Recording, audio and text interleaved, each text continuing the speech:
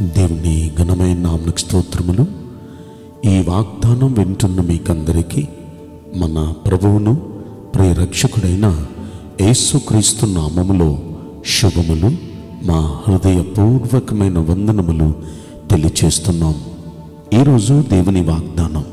యశాగ్రంథం గ్రంథం నలభై ఎనిమిదవ అధ్యాయము పదిహేడవ వచనం. నీకు ప్రయోజనము కలుగునట్లు నీ దేవుడనైన యహోవనగు నేనే నీకు ఉపదేశము చేయుదును. నీవు నడవవలసిన త్రోవను నిన్ను నడిపించుదును. ఈ మంచి వాగ్దానం మన మంచి దేవుడు మనందరి పట్ల నెరవేర్చునుగాక ఆమెన్. ప్రియ దైవ జనాంగమా ఆయన మనకు ప్రయోజనం కలిగినట్లుగా మనకు ఉపదేశం చేస్తాడంట. మనం ఏ మార్గాల్లో నడవాలో మనకు ఆయన బోధిస్తారంట ఆయన నడిపిస్తారంట. ఒక్క మాట మనం పరిశీలిస్తే మన దేవుడు ఆ విధంగా మనకు చేయాలంటే మనం ఏం చేయాలి? ఆ కింద మాట పద్దెనిమిదో వచ్చిన మనం చూస్తే నీవు నా ఆజ్ఞలు ఆలకింపవలనని నేను ఎంతో కోరుచున్నాను. ఆలకిస్తే నీ క్షేమం నదీ ప్రవాహంలా ఉంటుంది. సముద్ర తలంగాల్లాగా ఉంటుంది. ఎంత బాగుంది. ఈ మాటను మనం పరిశీలిస్తే దేవుని ఆజ్ఞలు మనం ఆలకించాలి. ఆయన మాటలు మనం ఆలకించాలి. శ్రద్ధగా ఆలకించి వాటిని అనుసరిస్తే మన క్షేమం ప్రయోజనం నదీ ప్రవాహంలాగా కలుగుతుంది క్షేమం. ఎంతో మనకు ప్రయోజనం కలుగుతుంది. కనుక దేవుడు మనతో మాట్లాడినప్పుడు ఆయన ఉపదేశాన్ని మనం వినాలి. ఉపదేశిస్తానంటున్నారు ఏ మార్గాల్లో నడవాలో ఆ మార్గాలు మనకు బోధిస్తాను అంటున్నారు ఆ మార్గాల్లో నడిపిస్తానంటున్నారు. అయితే ఆయన మాట వినేవారిగా మనం ఉండాలి. ఆ మాట వినటం అంటే అనుసరించేవారిగా. ఈ రోజున మన దేవుని మాట మనకు ప్రయోజనం కలగజేస్తుంది. మన దేవుని మాట ఖచ్చితంగా మనకు మేలు కలగజేస్తుంది. వింటున్న మనందరి జీవితంలో మనకు ప్రయోజనం మేలు కలగాలి అంటే ఆయన మాట మనం ఆలకించాలి. ఆలకిస్తే ఖచ్చితంగా మనకు మేలు కలుగుతుంది. మనకు క్షేమం కలుగుతుంది. అది కూడా ఎంత? నదీ ప్రవాహం అంత క్షేమం మనకు కలగబోతుంది. కనుక మనం ఆలకించాలి.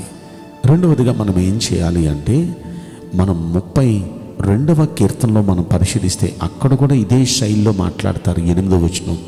నీకు ఉపదేశం చేస్తాను. నీవు నడవలసిన మార్గాన్ని నీకు బోధిస్తాను. నీ మీద నా దృష్టి ఉంచి చక్కని ఆలోచనలు నీకు చెప్తాను అంటున్నారు. అంటే మనకు మంచి మంచి ఐడియాస్ ఆయన మనకి ఇవ్వబోతున్నారు. మన మీద ఆయన కనుదృష్టి నిలబోతున్నారు. మనకు ఆయన ఉపదేశం చేయబోతున్నారు. ఏ మార్గాల్లో నడవాలో ఏ మార్గాల్లో నడవకూడదో బోధిస్తారు. ఇలా ఆయన చేయాలంటే మనం చేయాల్సిన మరో పని మొదటి వచ్చంలో ఎవరికి చెప్తారు ఇలాగా? తన అతిక్రమాలకు పరిహారం పొంది తన పాపాలకు ప్రాయశ్చిత్తం పొంది యహోవ చేత నిర్దోషి అని ఎంచబడిన వారికి ఆయన బోధిస్తారు. వారికి ధన్యత ఇస్తారు కనుక దేవుని దగ్గర మన అతిక్రమాలకు పరిహారం పొందాలి. పాపాలన్నిటికీ ప్రాయశ్చిత్తం పొందాలి. ఎప్పుడైతే అలా పొందుతామో దేవుని దగ్గర ఒక సర్టిఫికెట్ వస్తుంది వీరు నిర్దోషి అని. అప్పుడే ఆయన మనకు అన్నీ బోధిస్తారు. ఎలా నడవాలో ఎలా నడవకూడదో అన్నీ బోధిస్తారు. బోధించి ఆ విధంగా నడిపిస్తారు. ఇప్పుడు ఈ సర్టిఫికెట్ పొందాలంటే మనం ఏం చేయాలి?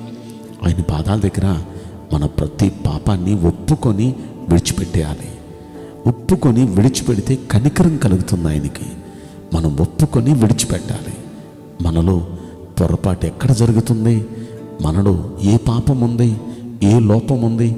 దాన్ని ప్రభు దగ్గర మనం ఒప్పుకోవాలి క్షమించమని ప్రభుని అడగాలి. ఒప్పుకోవాలి క్షమించమని అడగాలి. ఒప్పుకొని విడిచిపెట్టేసేయాలి దాన్ని. ఇక చేయను ప్రభు ఇక అలా మాట్లాడిన ప్రభు ఇక అలా ప్రవర్తించను ప్రభు ఇక నుండి ఈ విధంగా జీవిస్తాను మంచి నిర్ణయం తీసుకొని మనం ఉంటే మనకు ఒక సర్టిఫికెట్ ఇస్తాడు. వీళ్ళు పవిత్రులు వీళ్ళు నిర్దోషులు అనే సర్టిఫికెట్ ఇస్తాడు. ఎవరైతే ఆ సర్టిఫికెట్ పొందారో వారికి ఆయన ఉపదేశిస్తాడు. ఏ మార్గాల్లో నడవాలో ఏ మార్గాల్లో నడవకూడదో ప్రయోజనం కలుగునట్లుగా ఉపదేశం చేస్తాడు. ఆ ఉపదేశం చేయటం మాత్రమే కాదు ఆయన చక్కచక్కని ఆలోచనలు కూడా చెప్తాడంట. మన మీద ఆయన కనుదృష్టి నిలుపుతాడంట. ఎక్కడ ఏ విధమైన ఇబ్బందుల్లో పడకుండా ఆ కనుదృష్టి నిలిపి చక్కచక్కని ఆలోచనలు ఇస్తాడంట. కనుక మనకు ప్రయోజనం కలుగునట్లుగా ఉపదేశం చేయబోతున్నాడు. మనకు ప్రయోజనం కలుగునట్లుగా మనతో ఆయన మాట్లాడబోతున్నారు. ఆయన మనకు ప్రయోజనం కలుగునట్లుగా మనల్ని నడిపించబోతున్నారు. ఇవన్నీ జరగాలంటే రెండు పనులు మనం చేయాలి. మొదటి పని ఆయన చెప్పిన మాట శ్రద్ధగా ఆలకించి వాటిని పాటించాలి. రెండవది మన ప్రతి పొరపాటును ప్రభు దగ్గర ఒప్పుకొని విడిచిపెట్టాలి. ఈ రెండు పనులు చేయగలిగితే ఖచ్చితంగా మనకు ప్రయోజనం కలుగునట్లుగా ఆయన ఉపదేశం చేస్తారు కనుదృష్టి మన మీద నిలుపుతారు మనతో నడవాల్సిన మార్గాల్ని బోధిస్తూ నడిపిస్తారు. అద్భుతాలు మన జీవితంలో జరుగుతాయి. కనుక ఈ వాగ్దానం వింటున్న ప్రతి ఒక్క బిడ్డ జీవితంలో నెరవేరునుగాక. ఆమె నేను మీకోసం ప్రార్థన చేయబోతున్నాను.